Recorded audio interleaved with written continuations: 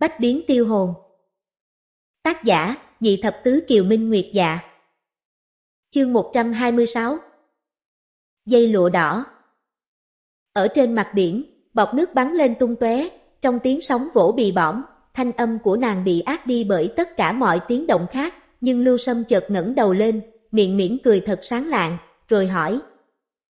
Tiểu mỹ nhân, dường như ta nghe có tiếng người gọi, không phải là ngươi chứ? Tất nhiên lời nói đó chỉ là lời nói chơi, nàng đâu có nói được, nếu như được thì nàng đã sớm nói chuyện rồi.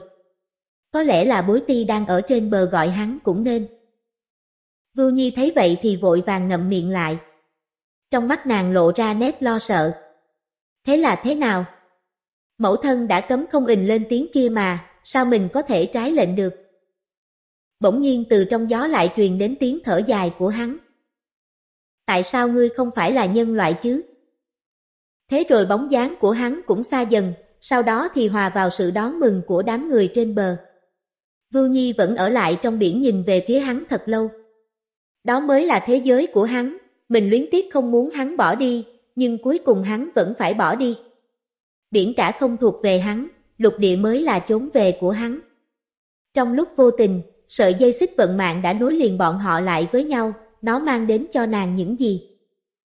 Là một loại nhớ nhung xa xăm không có hồi âm, và còn có sự trở ngại cực kỳ vững chắc không thể nào phá vỡ được. Nàng không biết, nhưng nàng chỉ biết, nàng vĩnh viễn sẽ không quên được cuộc hành trình trong mấy ngày qua. Vĩnh viễn không quên được cái đêm tựa vào vai hắn mà ngắm bầu trời đầy sao, và cũng vĩnh viễn không quên được mộng cảnh ngày đó. Ngày đó nàng đã mộng thấy một hoa viên xinh đẹp, nàng và hắn sóng vai đi dạo khắp hoa viên, hoa rơi nhẹ nhẹ đáp lên vai nàng, hắn phất nhẹ một cái, phất nhẹ qua vai nàng, nhưng cái phất đó lại dường như phất qua trái tim nàng. Bóng dáng của hắn sớm đã không còn thấy đâu nữa, nơi khóe miệng của Vưu Nhi chỉ có mùi vị mặn mặn của nước biển. Nàng khẽ giơ tay lên, vẫy vẫy về phía đất liền, đầu ngón tay dường như lấp lánh trong suốt. O o o o o o Thiếu chủ Ở trong nhà của bối ti, nàng dâng lên chén trà nóng hổi, rồi nói Chúc mừng ngài thuận lợi trở về, và còn thu được chất nhờn của giao ngư trăm năm nữa. Trên mặt nàng hiện rõ nét hưng phấn, ngoài hưng phấn ra, còn có mấy phần ngượng ngùng nữa.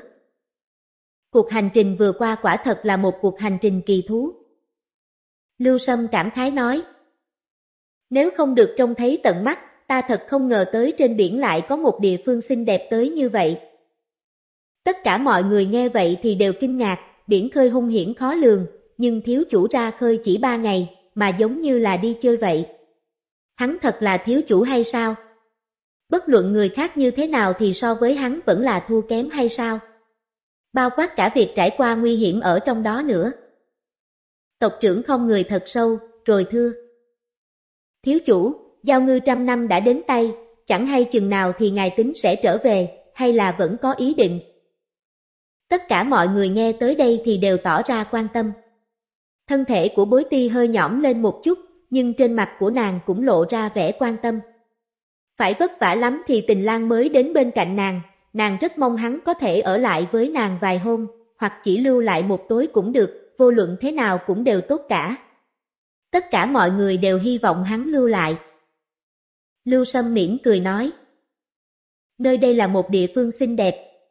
Ta rất mong suốt đời có thể ở lại đây, nhưng giao ngư trăm năm có quan hệ trọng đại, ta không thể phụ một phen khổ tâm của nhân ngư được. Vì vậy mà ta phải sớm trở về thôi. Không phải là vì vấn đề của giao ngư trăm năm, mà là vì hắn có một trực giác, phong thần đảo đã xảy ra biến hóa lớn.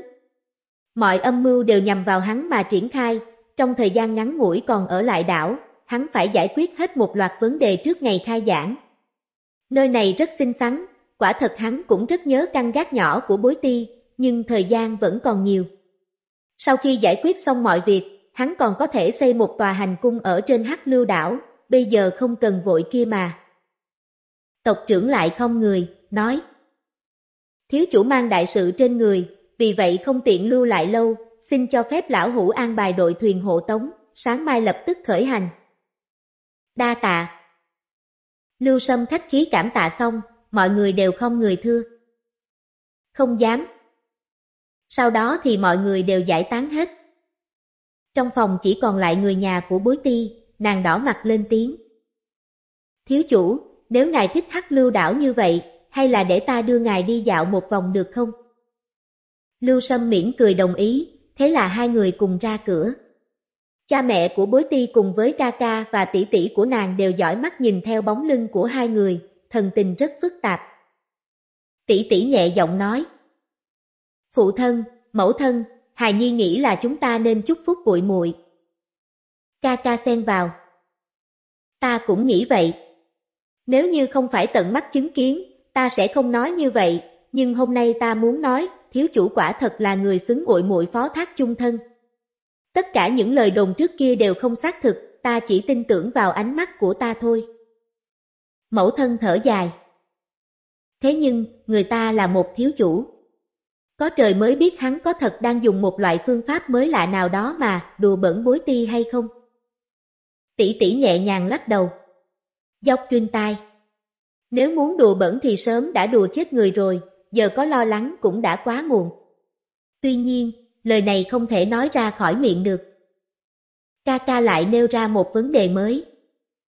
Nếu nhân chuyến phong ba lần này mà hắn không còn làm thiếu chủ nữa thì thật là tốt biết mấy. Ba người cùng lúc ngẩng đầu lên, không còn là thiếu chủ. Đó là chuyện tốt sao? Trên bãi cát cạnh biển, Lưu Sâm bước đi rất chậm, khắp nơi không còn người nữa, bối ti ôm nhu dựa vào lòng hắn, nhẹ nhàng ôm lấy hắn. Trước kia nàng không thể làm ra những động tác đó, dưới tình huống thiếu chủ không chủ động, nàng không thể làm như vậy, nhưng bây giờ thì nàng có thể làm vậy rất tự nhiên. Có lẽ vì đây là quê hương của nàng, có lẽ buổi nói chuyện đêm đó đã thay đổi nàng. Sau một nụ hôn đắm đuối, bối ti nhiệt liệt đáp lại, xem tại. Thiếu chủ. Chỉ một tiếng gọi khẽ vừa dịu dàng vừa thấm thiết. Đừng gọi ta là thiếu chủ.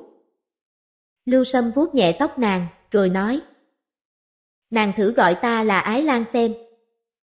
Được thật à? Tiểu cô nương ngẩng đầu nhìn hắn, trên mặt lộ ra vẻ kích động, vừa vui sướng vừa có đôi phần e lệ. Thì gọi thử xem. Ái Lan. Bối ti gọi nhẹ. Ái Lan, yêu dấu nhất của ta, ta yêu chàng.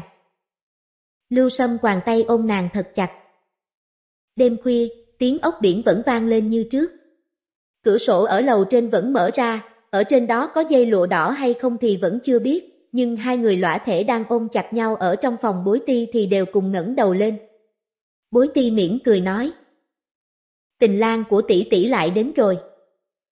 Lưu Sâm thì thầm vào tai nàng. Ngày nào đó ta cũng đến dưới cửa sổ của nàng mà thổi ốc biển, chừng đó nàng có mở cửa sổ và treo dây lụa đỏ cho ta hay không? Không đâu. Bối ti tinh nghịch trả lời. Lưu Sâm nghe vậy thì ngẩn người ra. Bỗng nhiên có một đôi môi thơm ngào ngạt áp tới sát môi hắn, kèm theo lời thì thầm của nàng. Ta sẽ trực tiếp từ trên lầu mà nhảy xuống với chàng. Lại một đêm triền miên đắm đuối. Tiếng ốc biển đêm nay thổi cũng đặc biệt lâu hơn thường lệ, phản phất như tiếng hòa âm đầy ôn nhu vậy.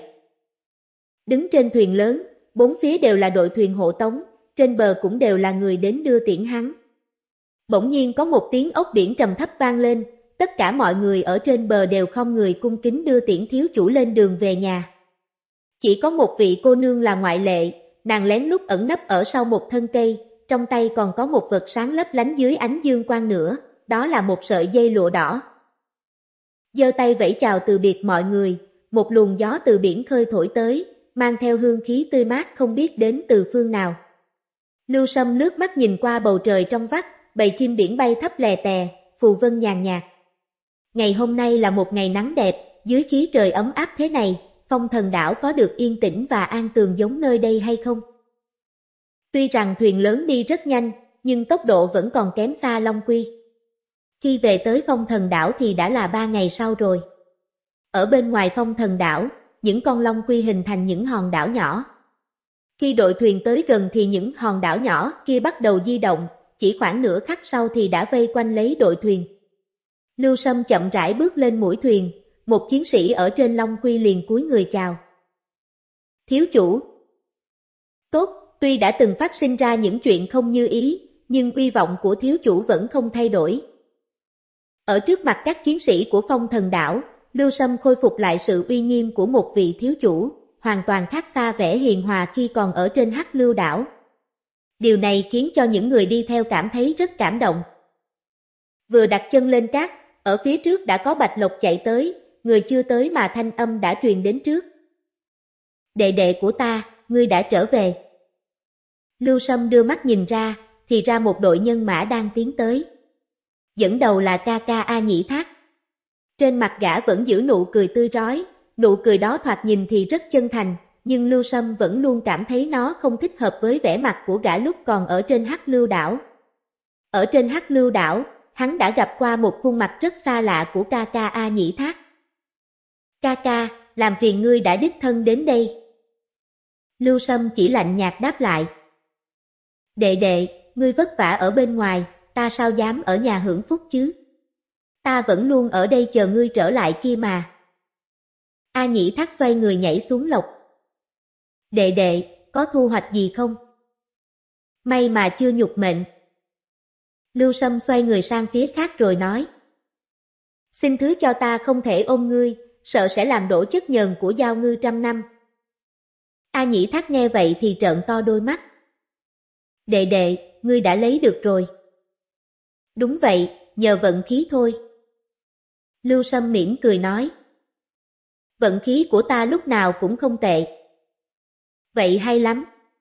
Đệ đệ, hãy theo ta. Gia Gia đã chờ rất sốt ruột đấy.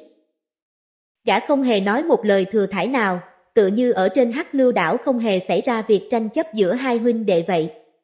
Phụ thân đã từng nói, chỉ cần lấy được chất nhờn của giao ngư trăm năm, vậy thì hắn có thể trở lại phong thần đảo.